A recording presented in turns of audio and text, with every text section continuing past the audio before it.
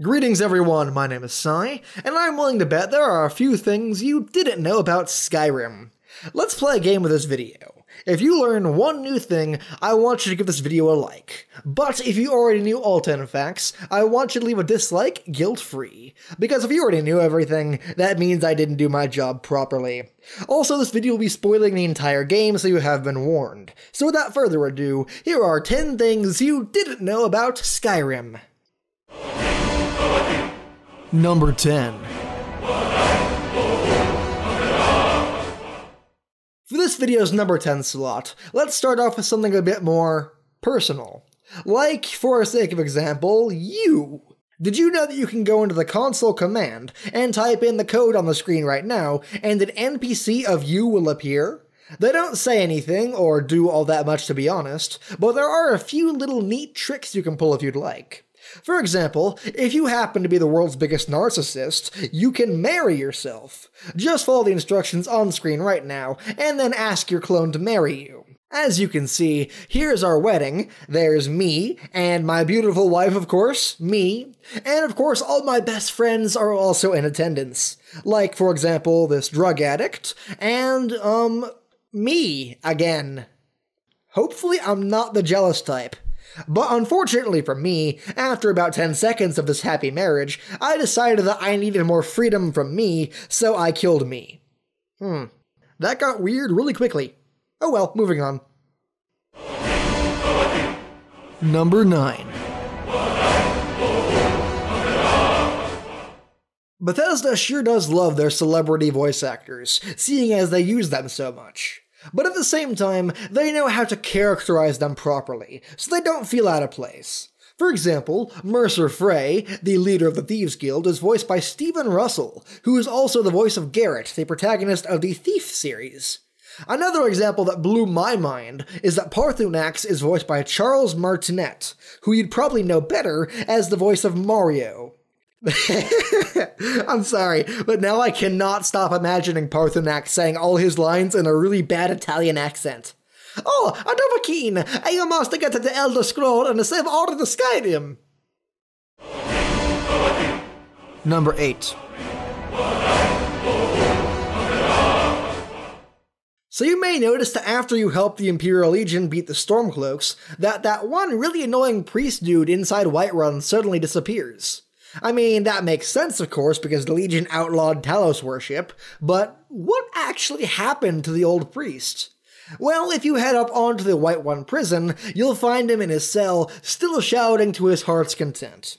And okay, before you all berate me in the comments, yes, this one is kind of cheating. It's a change added by the unofficial Skyrim patch, so usually that means I wouldn't include it, but let's be honest here, if you're playing Skyrim on PC, 99% of the time you'll be using the unofficial patch. So that's my justification. Now you can berate me in the comments. Number 7. So this one may seem a little obvious to some, and I fully realize that, but hear me out on this, because I think most people really underappreciate just how deep this rabbit hole goes. So, did you know that Bethesda created their own language for dragons? Now, if you've played the game, you'll know that to some extent. I mean, Dova means dragon, Keizaal means Skyrim, etc. And we can see dragons using these same words for these same meanings at various points. So it's pretty clear that Dragon voice actors weren't speaking complete gibberish, right? But Bethesda, more likely than not, only made a few fake words for what was needed. The Dragon language consists of maybe 50 or 60 words max, right? Wrong! When I say they made a language for dragons, I mean they made an entire freaking language for dragons. As in, more than 500 words with different grammar rules and everything. Heck, if you're interested, there are even some websites that specialize in translating English into Dovahzul, or dragon speech. So yeah, massive props to Bethesda for pulling off that Herculean feat. Number 6.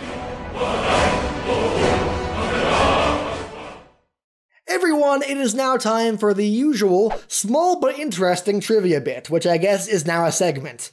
Whenever you come across a mineral deposit, you can press E to begin mining it. But, did you know that you can actually equip your pick like a weapon and hit the deposit to achieve the same effect? Also, a bit of a bonus here, you can use the Elemental Fury Shout to mine it even faster than it would normally.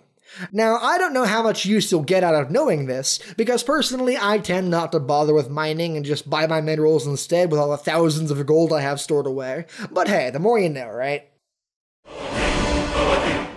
Number 5. So here's a question I'd be interested in hearing the answer to. How many of you actually bothered with the Civil War questline? I mean, personally, the Civil War was by far the least interesting part of the Skyrim lore for me, so until a few weeks ago, I had never so much as even started it. And indeed, aside from the Siege of Whiterun, which was admittedly pretty cool, the rest of it was just go here, kill a bunch of dudes, repeat. Again, I'm curious how much of you actually bothered with the quest. Tell me in the comments, I'm interested in knowing. Anyways, the real highlight of that quest for me isn't even the quest itself, it's a part of the main storyline. Did you know that if you kill Ulfric Stormcloak as part of the Civil War questline, you can meet him again in Sovngarde as part of the main questline? I think it's a pretty cool little bit of continuity on Bethesda's part. Number 4.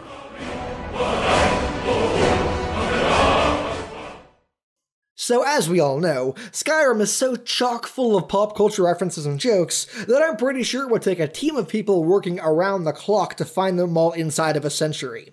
So, listing off every last one of them is impossible. But I can tell you my three personal favorites that I've run across. First is in Rebel's Cairn, where you can find a sword sticking out of a stone, which is in reference to the King Arthur legend. Second is you can find a glacier east of the Frostflow Lighthouse, where a mammoth has been frozen inside. Another interesting thing to point out about this is that the arrows appear to be Dwemer made. And third is that in the Bleak Coast Cave, you can find a skeleton stuck from the ceiling, and below it a glowing sword, which obviously references The Empire Strikes Back. Number 3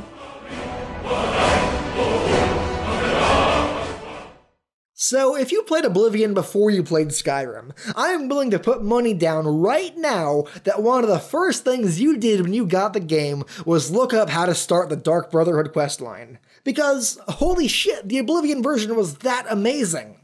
But, in the abandoned shack where you first start the quest, did you know that you can actually kill Astrid to begin a completely different questline? After killing her and freeing the people she trapped, you go report to Commander Maro, and thus begins the quest Destroy the Dark Brotherhood. You raid the Dark Brotherhood Sanctuary and kill everyone inside. Commander Maro will reward you with 3,000 gold, and you never hear from the Brotherhood again. Number 2.